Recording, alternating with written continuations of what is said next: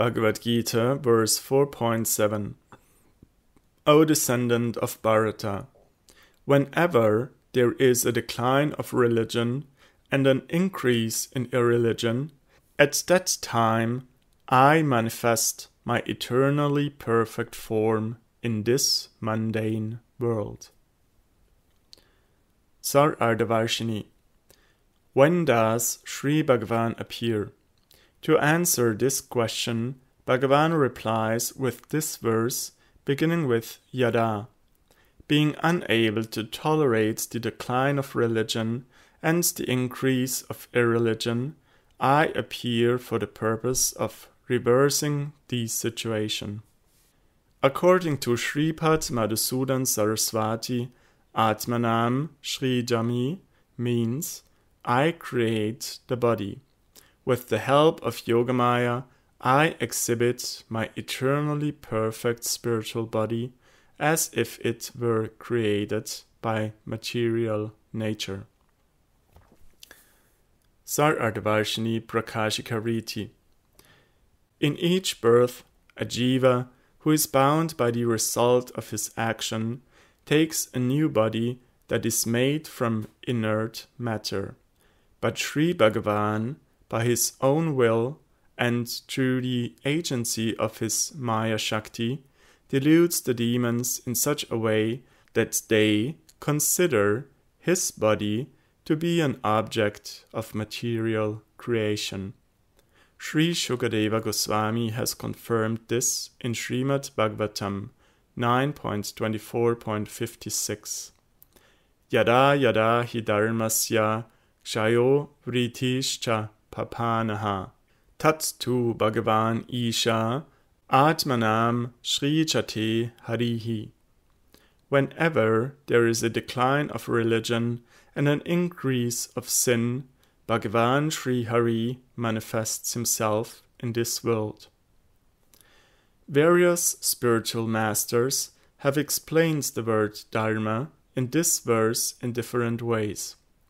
Sri Ramanuj Acharya has accepted the word Dharma to mean the worship of Bhagavan.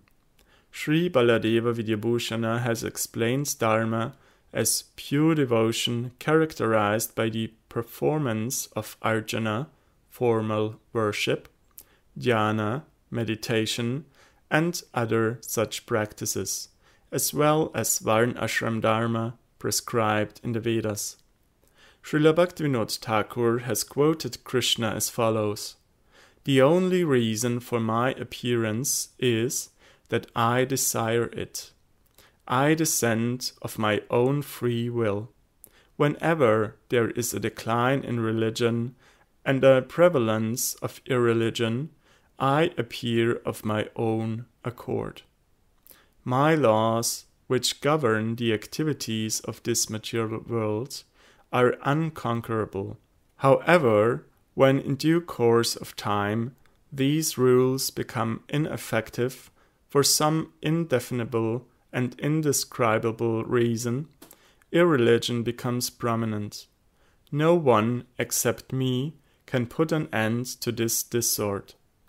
I thus appear in this mundane plane with the assistance of my spiritual potency and dispel the decline of religion. It is not true that I only appear in the land of Bharata, India.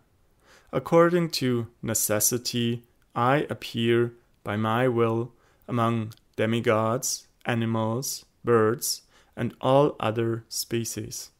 Therefore, do not think that I do not appear among those outside the Vedic system, such as Mlecha, Antyaja, and other outcasts. All those pitiable people also accept a certain degree of religiosity as their natural religion, Sva Dharma.